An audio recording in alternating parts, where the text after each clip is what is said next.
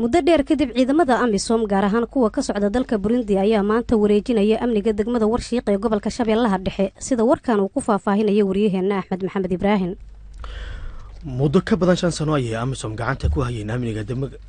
degmada warshiiq balse maanta ayay ku wareejinayaan ciidamada xoogga dalka iyo booliiska soomaaliyeed. Munaasabad kooban oo saakii la doonaya in lagu qabto degmada warshiiq ee gobolka shabeellaha dhexe ayaa la sheegaya in amisom mas'uuliyadda sugidda ammaanka degmada warshiiq ku wareejin doonaan ciidamada xoogga iyo kuwa booliiska soomaaliyeed. Madaxda ugu sarreysa hirshabelle iyo kan gobolka shabeellaha dhexe ayaa goobjoog ka noqon doona wareejinta amniga warshiiq sida ay sheegeen ilo ku dhow madaxda. Ciidamada amisom ayaa kolka yimaadeen dalka goobaha ugu horeeyey ee gacanta ay ku qabtaan ayay ka mid ahayd degmada warshiiq ee gobolka shabeellaha dhexe. Si aysan al-shabaab ugu soo weerarin magaalada muqdisho dhanka xeybta sida ay sheegeen qaar ka mid ah saraakiisha ciidamada ee warshiiq ku sugan. Dib habeen oo lagu wada ciidamada xoogga dalka ayaa la doonayay inay kula wareegaan guud ahaan sugidda ammaanka guud ee dalka kadib markii ciidamada amisom iskaga huleelaan dalka. Waxaana la sheegin halka ay tegayaan ciidamadan amisom ee baneynaya degmada warshiiq ee gobolka shabeellaha dhexe inkastoo qaybo ka mid ah gobolka shabeellaha dhexe ay joogaan ciidamo burundi oo ka mid ah howlgalka amisom ra'iisul wasaaraha xukuumadda soomaaliya mudane xasan cali khayre ayaa kulan la qaatay xildhibaanada labada aqal ee laga soo doortay deegaanada maamulka galmudug yunis duraan cali ayaa faahfaahinaya warkan ra'iisul wasaare xasan cali kheyre ayaa xalay kulan saacada qaatay waxa uu xafiiskiisa kula yeeshay xildhibaano ka tirsan labada gole ee baarlamaanka soomaaliya. Deegaan ahaanna ka soo jeeda dowlad goboleedka galmudug. Inta uu socday kulankan u dhexeeyey xasan cali kheyre iyo xildhibaanadan iskugu jira aqalka sare iyo golaha shacabka ayaa waxaa looga hadlay arrimaha maamul samaynta maamulka galmudug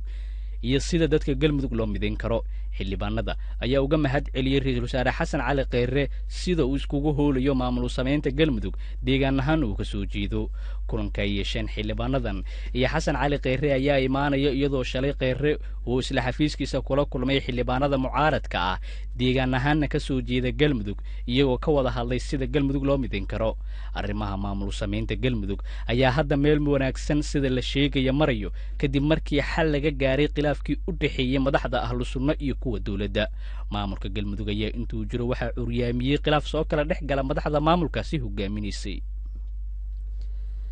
maamulka somalilan ayaa gebi ahaanba diiday in deegaanadeeda laga fuliyo qaybta kaga soo aaday heshiis lagu dhisayo magaalooyinka muqdisho iyo berbera maxamed cali maxamed ayaa ka waramaya qodobkan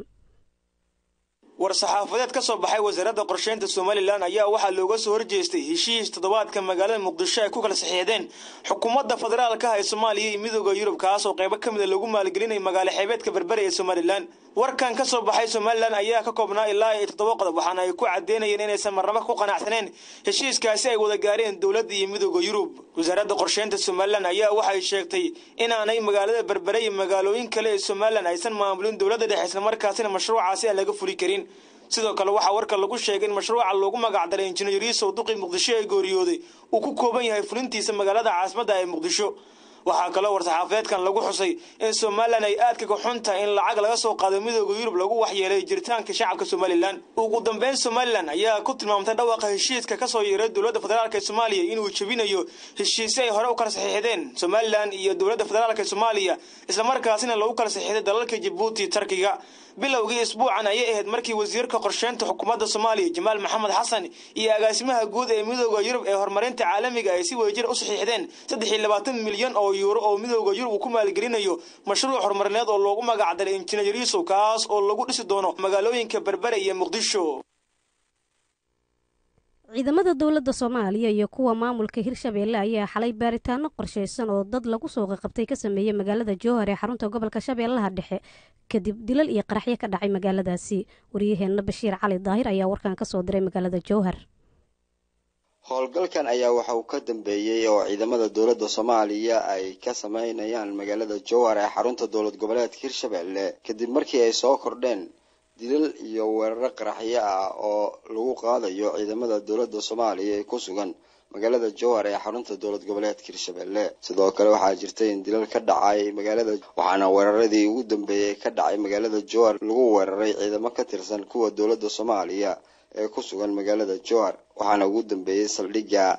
xaafadda horseed oo bambagacmeed lagu weeraray halkaas oo khasaare dhaawacyo ay ka soo gaareen ciidamada booliska ee halkaasi ku sugnaa. Howlgalka xalay ciidamada dowladda soomaaliya boliiska nabad sugidda iyo militariga ayaa howlgallo roondooyina ku marayay xaafadaha magaalada jowhar kuwaasoo ay ku baadigoobayeen kooxaha falalka ammaandare ka geysta gudaha caasimada hirshabelle ee magaalada jowhar ma jirto ilaa haatan saraakiisha ciidamada dowladda soomaaliya ee howlgalka horkacayay. Faahfaahin rasmi ay ka bixiyeen howlgalkii habeenkii xalay ay ka sameeyeen magaalada jowhar kaasoo ay afarta xaafadood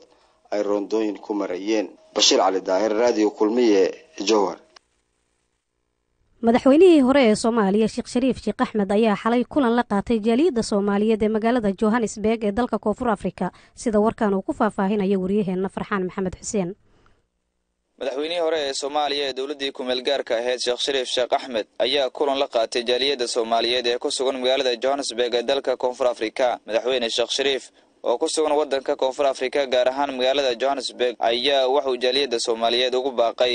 in ay ka qayb qaataan dhisitaanka dowladnimada sidoo kale madaxweyne sheekh shariif waxauu ka hadlay sababta walkaasi ugu tegay jaaliyadda soomaaliyeed ee waddanka koonfur afrika. Ilaahay subxaanahu wa tacaala caqliguna siiyey. Caqligeena adeegsanaa nagala rabaa waxaan xayawaanaad kale kale uga duwannahay waxaa waaye caqligaas waay.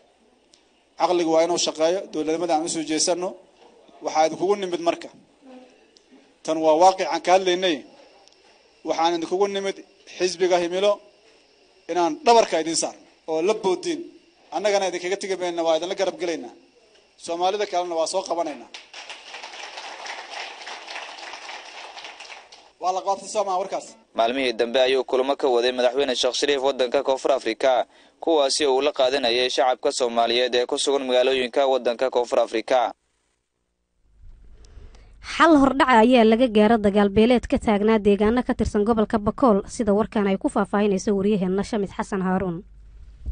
iyadoo ay taagneed colaad u dhaxaysay beelo wadadega gobolka bakool ayaa hadda waxaa lagu soo waramayaa in xal laga gaaray. Colaadan u dhaxaysay laba maleeshiya beeleed ayaa waxaa ku baxay odayaal waxgarad iyo siyaasiyiin ka soo jeeda gobolkaasi bakool colaadan ayaa ka dhalatay barkad biyo oo ku taalla deegaanka qurunjoon isla gobolka bakool iyadoo ay saamaysay meelo ay ka mid yihiin degmada xudur iyo ceel bardhe nabadoon ibraahim cabdulle oo ka mid ah waxgaradkii ku baxay colaadan ayaa ka yanan uga warbixiyey inay xaaladdu haatan tahay mid degan islamarkaasina la kala qaaday beelihii is horfadhiyey nabadoon ibraahim ayaa dhinaca kale ku baaqay in xasiloonida laga wada shaqeeyo oo aan la siyaasadayn xaaladda deegaankaasi ka taagan